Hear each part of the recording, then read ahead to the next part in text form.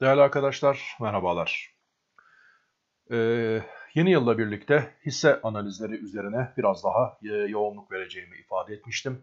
Türk Hava Yolları, Kozal ve Arçelik ardından bugün ise sizlere Aselsan hissemizi analiz etmeye çalışacağım. Bu konuda dün gece sizlere belirttiğim gibi bir anket yayınlayacağımı söylemiştim. Hangi hissenin analizi yapılmasını daha çok arz ediyorsunuz şeklinde. E, bu anket sonucundan e, çıkan bir hisse Aselsan. E, ama anket e, saat 12 civarlarında baktığımda Aselsan'ın e, önde olduğunu görmüştüm ve ben de hazırlıklara başlamıştım. Fakat anketin bitimi itibariyle Kardemir hızlı bir atak yapmış ve Kardemir anketin lideri e, çıkmış durumda. Ama ben hazırlıklarımı Aselsan üzerinde yaptığım için bu konuda özür diliyorum. Şu anda Aselsan'ı analiz edeceğim ancak söz vermiş olayım. Yarın gece ise mutlaka Kardemir hissesinin analizi üzerinde çalışacağım. Değerli arkadaşlar yasal uyarımızı biliyorsunuz, okudunuz ve Aselsan için derhal ilk bakış açımız olarak e, takas analizine geçiyoruz. Biliyorsunuz takas konusuna çok önem vermekteyim. Yatırımcıların, e, etkin yatırımcıların alım ve satımları, davranış şekilleri, e, hisse senetleri üzerinde, hissenin yönü üzerinde çok etkili olmakta. Sevgili arkadaşlar, Aselsan için şöyle bir 3 aylık bir e, tablo oluşturduğumuz zaman 1.10 tarihi itibariyle Aselsan'da City yabancının %20.60'lık pozisyon olduğunu görüyoruz. Bugün itibariyle en son kapanış verileri itibariyle ise Aselsan'da City yabancı payının 16.80'e gerilemiş olduğunu görüyoruz. Yani yaklaşık e, 4 puanlık %4'lük bir geri çekilme olmuş elinde 60 milyon hisse var iken bu 49 milyon 300 seviyelerine yani 11 milyon civarında bir satış yaptığını görmekteyiz. E, Eylül ayından itibaren bu süre içerisinde. Diğer taraftan Aselsan'da etkili olan yabancı kurumlardan Deutsche Yabancı'ya baktığımız zaman ise e, 1.10 tarihinde 1 Eylül tarihinde elinde pardon 1 Ekim tarihinde %8.32'lik bir paya sahip iken şu an itibariyle bu payının %15'e ulaştığını görüyoruz. Yani %7'lik bir artış yaşanmış. Burada %35 e, milyon civarında bir pozisyonu var iken 44 milyona çıkmış. Çok net olarak anlaşılmakta ki City yabancı tarafından satılan 10-11 milyon lot civarındaki hisse Deutsche yabancı tarafından karşılanmış. Yani iki yabancı arasında bir alışveriş gerçekleşmiş. Birazdan bu iki yabancının birbiriyle olan e, alışverişini, daha doğrusu birbiriyle alışveriş derken sanki anlaşmalı bir işlem yapıyorlarmış anlamı çıkmasın. E, burada City yabancının sattıkları Deutsche yabancı tarafından karşılanmış. Net ve objektif olarak böyle değerlendirmek gerekiyor. Ancak önemli olan husus şu ki bir yabancının sattığını bir diğer yabancı alım yönünde değerlendirmiş. Yani bu tablo hissenin çok daha fazla gerilemesine engel olan bir durumdur.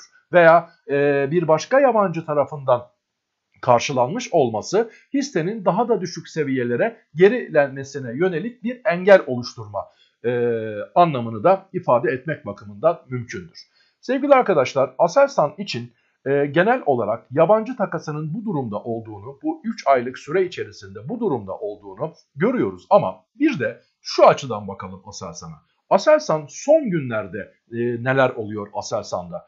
Bu durum içi için ise arkadaşlar yeni yılın ilk işlem günü olarak e, ayın ikisini ve şu anki ayın 17'si yani 15 günlük veya 2 haftalık süreci dikkate aldığımız zaman Aselsan'da biraz önce ifade etmiş olduğum gibi Deutsche yabancı tarafından 11 milyon 755 bin lotluk bir alım gerçekleşmiş ve City yabancının ise bu tarihler arasında 2019 yılı itibariyle 10 milyon lot civarında bir alımının e, pardon bir satışının olduğunu görmekteyiz.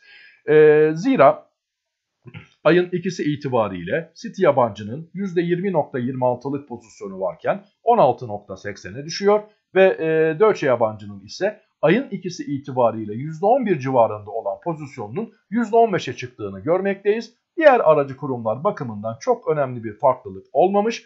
Diğer kurumlara bakalım. İlk 5 kurumun dışındaki kurumlara baktığımız zaman ise 132 milyon civarında bir rakam görmekteyiz. E, son durum olarak 130 milyona gerilemiş. Dolayısıyla küçük yatırımcıların da e, bir daha doğrusu City yabancı ve Deutsche yabancı arasındaki alışverişte City yabancılar e, ilk 5 kurum dışındaki e, şeylerin e, aracı kurumlarında veyahut da yatırımcılarında bir miktar e, ellerindeki pozisyonu ilk 5 kuruma kaptırdıklarını söylemek mümkün olacaktır. Değerli arkadaşlar, Aselsan'da önemli olan yabancı takasını incelerken mutlak suretle daha doğrusu Aselsan takasını incelerken mutlak surette yabancıların ne yaptığı konusuna çok büyük bir önem vermek durumundayız. Çünkü Aselsan'da özellikle Kasım 2017 tarihinde 47 seviyelerine ulaştığı zaman o noktadan itibaren başlayan çok yoğun yabancı satışları olmuştu ve Aselsan'da birçok yatırımcı Aselsan Zede olarak tanımlayabileceğimiz şekilde yüksek maliyetlerle bekleme konumuna geçmiş. Ee, bir anlamda mecburen bekliyorlar zira bu maliyetlerine ulaşması şeklinde bir hedefleri bulunmakta. Aselsan e, elde etmiş olduğu ihaleler, kazanmış olduğu ihaleler, projeleri ve bilanço yapısı itibariyle son derece güçlü ve son derece cazip görünen bir hisse senedi, bir şirket özelliğinde. Dolayısıyla bu güveni hak etmiyor mu? Elbette ki hak ediyor. Ancak bu hisse senedinin son dönemlerde, son bir yıldır çok hantal bir konumda olması yatırımcıyı ciddi şekilde bezdirmekte. Ne zaman ki ne zaman ki yabancıların kararlı ve istekli bir şekilde alım yaptıklarına tanık olabilir isek eğer işte o zaman Aselsan'da bir hareketin başlamış olabileceğini düşünebiliriz. Şu anda olduğu gibi biri satarken aynı miktarı diğerinin alması, dostlar alışverişte görsün misali, benzer miktarlarda alım ve satımların gerçekleşmesi Aselsan'ın takasında bir sinyal üretmemekte. Her iki yabancının da ki buna iş yatırımı da eklemek gerekiyor. İş yatırım da Aselsan üzerinde etkili olan aracı kurumlardan birisi. Bunların katılımıyla istikrarlı bir alım, istikrarlı bir takas artışını ne zaman görebilir isek işte o zaman Aselsan'dan umutlanmak mümkün olabilir. Bana şu anki tablo biri satarken diğeri bu satışları karşılamış. Evet bu satışların karşılanması oldukça olumludur. Aselsan'ın daha düşük seviyelere gelmesinin engellenmesi bakımından ama Aselsan'ın yukarı gideceği, önemli bir yukarı ivme yakalayabileceği hususunda herhangi bir sinyal vermemekte. Takas analizi bakımından.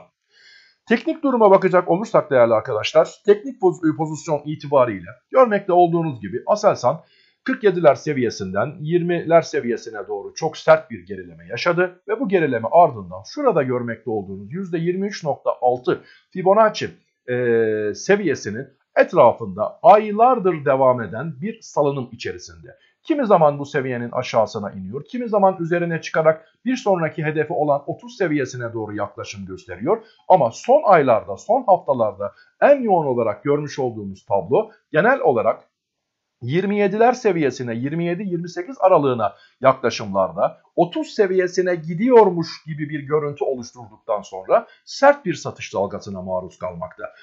Ee, çok net olarak şu görülmekte arkadaşlar. 25 seviyesinin aşağısına inişlerde 23'ler 23.5'lar seviyelerinden bir tepki buluyor. Ama 27.5'lara geldiği zaman da 30 seviyesini görmeden geri dönüş yaşıyor.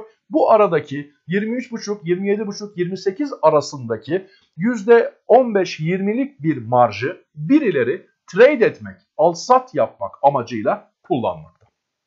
Bunu net bir şekilde işlemlerden gözlemleyebiliyoruz. Aselsan ne zaman bu içinde bulunduğu sıkışık banttan kurtulabilir? Öncelikle 23.6 olarak tanımladığımız 25 62 seviyesinin üzerine çok net bir şekilde çıkabilmeli ve bu seviyeyi çok ciddi bir destek haline getirebilmeli. Ve tabii ki esas önemli mevzu şuradaki görmüş olduğunuz 30 seviyesi bir direnç konumunda bulunuyor. Şu bölgede olduğu gibi bu direnç zorlanmış ama aşılamamış. Bu direncin aşılması gerekiyor. Ama bana göre en kritik direnç 30 ila şuralara sizlere tanımlamış olduğum gibi 29-70 yuvarlak olarak 30 diyelim. 30 ila 33 bölgesindeki direnç bölgesinde Aselsan'ın nasıl bir tavır sergileyeceği. Yani bu bölgeye ulaştığı zaman bir satış baskısı mı artacak yoksa Aselsan'da artık teknik olarak da e, işlerin düzeldiği, Aselsan'a yönelik olarak o beklenen hareketin başladığı şeklindeki bir algıyla hareketlilik mi başlayacaktır? En önemli nokta 30 seviyesi ile 33 seviyesi arasındaki Aselsan'ın hareket tarzlarıdır. Şu an bu bölgeden uzak durumdayız ama olası bir hareketlilikte 25-60 üzerinde kalıcı bir görüntü olup da 30 direncinin zorlandığı anlarda eğer 30 direnci aşılır ise her şey yoluna girdi gibi bir rehavete e, kapılmak e, değil. Bu 30-33 arasındaki bölgeyi çok yakından izlenmek izlemek gerektiğini düşünmekteyim.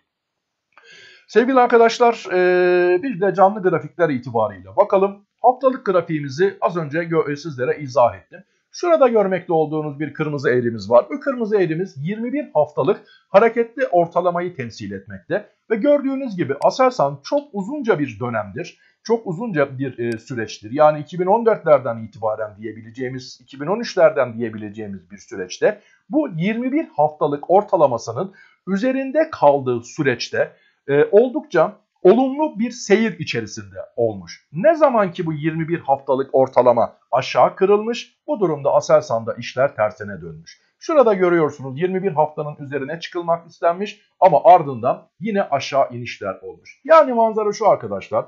Aselsan 21 haftalık ortalamasının aşağısına indiği zamanlarda genellikle bir tepki isteği içerisinde oluyor. Eğer ki Aselsan'daki hareketliliği e, takip etmek gibi bir düşünceniz var ise yani Aselsan'ın şu seviyeden alıp da işte atıyorum 40'lara 50'lere vesaire gibi uzun vadeli bir bakış açınız yok. Aselsan'daki kısa vadeli fiyat hareketlerinden istifade etmek gibi bir trade mantığınız var ise 21 haftalık ortalamayı yakından izlemenizde yarar bulunuyor. Gördüğünüz gibi arkadaşlar 21 hafta aşağı kırıldığı zaman oldukça e, sert e, hareketler söz konusu olabiliyor. Ama bu seviyeye yönelik tepkiler olabiliyor. Bu seviyenin üzerine hafif çıkışlar olsa bile tekrardan geri dönüş oluyor. En azından geri çekilmelerde 22.50-23.50 bandı dikkate alınmak ve buradan gelebilecek olan bir tepkinin tekrardan 21 haftalık ortalamayı zorlayan, bunu aşmak gibi bir niyet içerisinde e, olabileceği düşüncesi ile e, Aselsan hissesini izleyebilirsiniz. Şu an Aselsan'ın 21 haftalık ortalaması 25.24 seviyesi 29 seviyesinde bulunmakta ve Aselsan'ın son kapanışı ise 23.72. Bu ifade etmiş olduğum unsurlar dahilinde Aselsan'ın tekrardan 25-29'daki bu 21 e, haftalık ortalamasını zorlayan bir eğilim içerisinde bugünlerde böyle bir eğilim gösterebilmesi ihtimal dahilindedir. Teknik ihtimal dahilindedir diyebiliriz.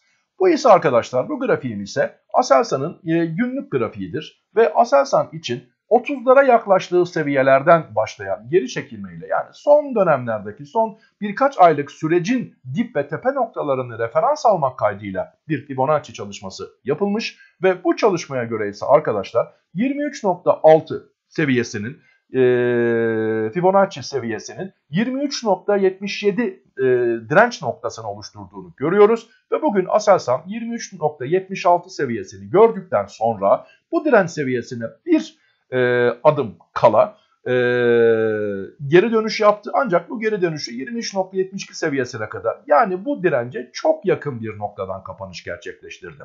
Dolayısıyla bu dirence çok yakın bir kapanış gerçekleştirmesi nedeniyle Aselsan'ı yakından izleyebiliriz. Şu anda endeks ve piyasa koşullarının da olumlu olduğu, her ne kadar öncelik bankalara veriliyor olsa da bankaların ardından sanayi hisselerine yönelik de bir ilginin oluşabilme ihtimalini dikkate almak şartıyla bu 23.77 bölgesindeki seviyesindeki direncin aşılarak şu noktaya yani 38.2 24.50'ye Ardından da 25 seviyesinin üzerine az önce sizlere belirtmiş olduğum e, şuradaki evet şuradaki haftalık hareketli ortalama seviyesi olan 25-29 seviyesine doğru bir yönelim mümkün olabilir. Arkadaşlar bu yönelimler mümkün olabilir derken zorlanabileceği direnç noktalarını sizlere veriyorum. Eğer vermiş olduğum bu direnç noktalarında bir zorlama yaşa zorlanma yaşanmıyorsa zorlanma yaşanma ihtimali vardır ama eğer yaşanmıyorsa bu direnç aşılıp da destek konumuna getir geliyor ise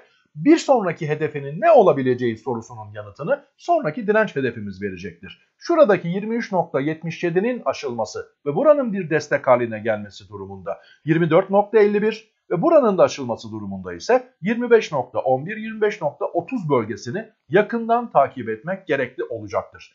Yarın için Aselsan'ın pivot seviyelerine bakacak olursak 23.72 ile kapanışını gerçekleştirdi. Eğer çarşamba pardon perşembe günü itibariyle Aselsan 23.64 pivot seviyesinin üzerinde kalır ise olası geri çekilmelerde 23.50'nin aşağısına gelmek istemeyen bir görüntüyle tekrar 23.60'ın 64'ün üzerine çıkacak olursa ilk dikkat edilmesi gereken nokta 23.93 ardından 24.06 ve sonrasında ise 24.35 pivot e, direnç hedefleri olarak gözlenmiş, e, hesaplanmış durumdadır.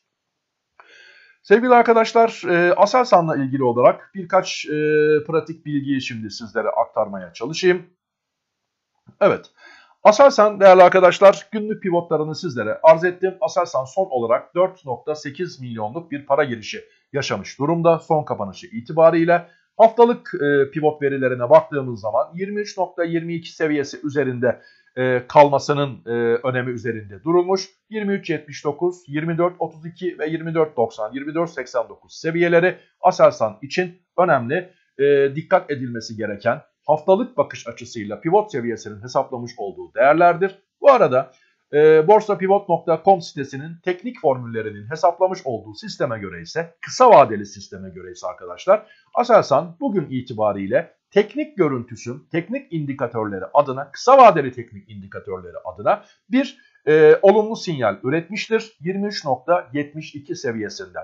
Ancak kısa orta vadeli diyebileceğimiz e, bu çok kısa vadeli göstergelerdir. Kısa orta vadeli diyebileceğimiz göstergenin e, yapmış olduğu hesaplama içe yine aynı sitenin verilerinden alıyorum. E, 31 gün önce 26-29 seviyesinden bir e, sat sinyali, olumsuz bir sinyal üretmiş. Tekrar ediyorum bu bir tavsiye değildir. Sadece bir teknik sinyaldir. 26-29 seviyesinden olumsuz konuma geçmiş ve bu olumsuzluk hangi seviyeye kadar devam etmiş arkadaşlar? 22.50 seviyesine kadar devam etmiş. %15 civarında maksimum bir getiri oluşturabilmiş kazanç e, kayıptan korumak anlamında. Son durum itibariyle ise vermiş olduğu son sinyali e, esas alınmak kaydıyla %10 civarında e, bir kayıptan korumuş görünmekte. Değerli arkadaşlar e, bu açıklamaların asla bir yatırım tavsiyesi niteliğinde olmadığını ve tamamıyla mevcut bir hissenin teknik ve takas görünümünü o anki e, finansal koşullar itibariyle sizlere arz etmekten ibaret olduğunu tekrar hatırlatmış olayım. Bu analiz yapılırken istifade edilen kaynaklar Matrix programıdır ve bunun yanı sıra az önce tablolarda göstermiş olduğum gibi pivot değerleri veyahut da teknik sinyaller, teknik formüller olarak sizlere görsellerini yansıtmış olduğum sitenin ismi borsapivot.com sitesidir. Buradan bu alıntılar yapılmış durumdadır. E, gün içerisinde anlık yorumlar yapabiliyorum veyahut da e, belli hisselerin e, ilginç önemli konumları hakkında veya endeksin kritik değerleri hakkında bilgiler aktarabiliyorum. Bunları takip etmek isterseniz de arkadaşlar Twitter adresim @halukcanberk'tir. Bu arada eklemiş olduğum videolardan anında haberdar olabilmek istiyorsanız, bir gecikme yaşamak istemiyorsanız kanalıma ücretsiz abone olmanızı rica ediyorum. YouTube abonelikleri biliyorsunuz herhangi bir ücret dahilinde değildir. Sonsuz teşekkür ve saygılarımla hoşçakalınız. Sözümü bir kez daha hatırlatıyorum. Kardemir'i bekleyen arkadaşlarım için özür diliyorum. Yarın akşam mutlak surette de Kardemir hissesini analiz edeceğim. Hoşçakalınız efendim saygılarımla.